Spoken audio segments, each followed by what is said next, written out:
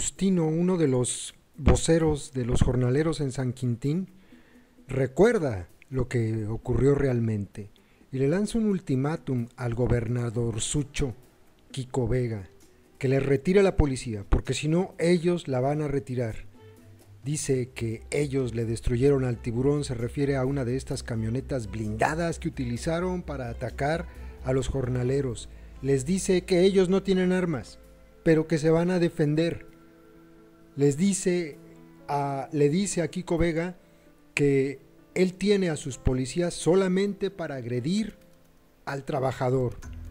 La verdad es que esto se está poniendo muy caliente, se está poniendo muy, muy caliente pero se está sintiendo también el apoyo. Los compas del colectivo Tijuana Movimiento Estudiantil están convocando a una movilización para apoyar a la gente de San Quintín. Ya hay movilizaciones convocadas en los Estados Unidos, en los consulados en Los Ángeles y algunas otras ciudades porque esto se está saliendo de control. El pinche gobierno asqueroso solamente conoce este tipo de diálogo. Escuchen las palabras del vocero de San Quintín, Justino, para que se den cuenta cómo de verdad están muy decididos a defenderse de tanto agravio y a hacer valer las condiciones dignas por las que están luchando. Ahí se los dejo, compas.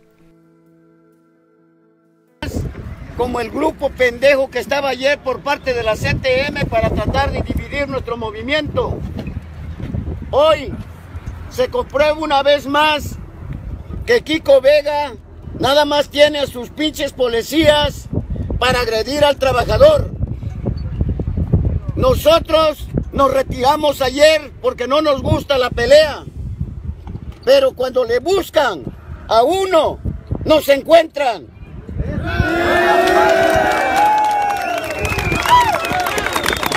Y no tenemos armas, compañeros. Porque nosotros no somos vándalos.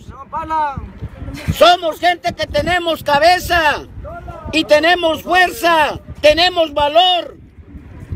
Y que le quede claro como el mensaje que le mandé a Kiko Vega, que esas pinches unidades que tiene las mande para Jalisco, allá donde hay ¡No sirve para nada!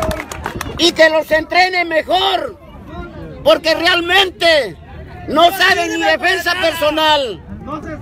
Los jornaleros de Lomas de San Ramón se defendió. Destruimos al pinche tiburón.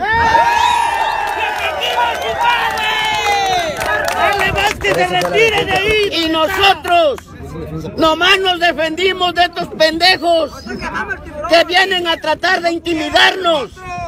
Nosotros no vamos a aceptar la intimidación de ningún cabrón.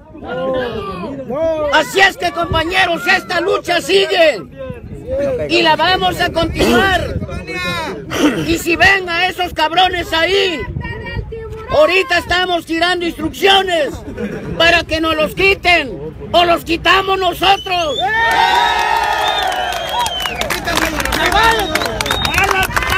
Ya dio su palabra, Pablo Alejo, que iba a dar órdenes para retirarlos, porque no los queremos aquí. Que los mande a Jalisco. Claro que sí.